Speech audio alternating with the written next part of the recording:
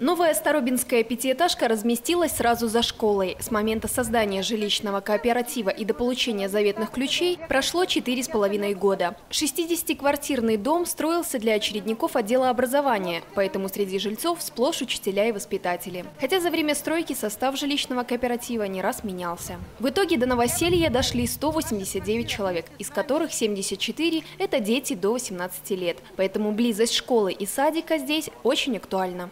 Очередь отдела образования, и поэтому у нас люди со всего Солигорского района. Но при этом 20 семей, которые проживали во временном жилье в городе Солигорске, а жить будут именно в Старобине.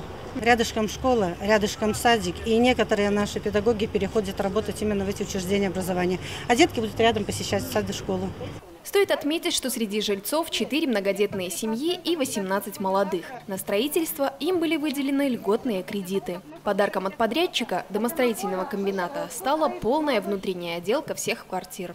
Полностью все сделано. Стоят газовые плиты, подключено все оборудование. То есть получили люди ключи, сегодня уже можно жить. Нашим генеральным подрядчиком был домостроительный комбинат во главе с Грязных Романом Юрьевичем. Мы им очень благодарны. Э, очень хорошо сделана отделка, качественно. В общем, большое-большое спасибо. Квартиры очень-очень долгожданные.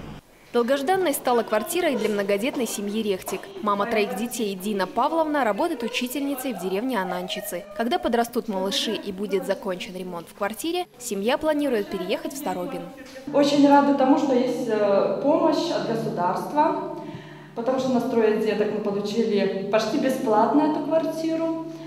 Вот там кредит очень маленький нам платить, поэтому очень рады, довольны, то, что получается у нас вот такая вот квартира бесплатная.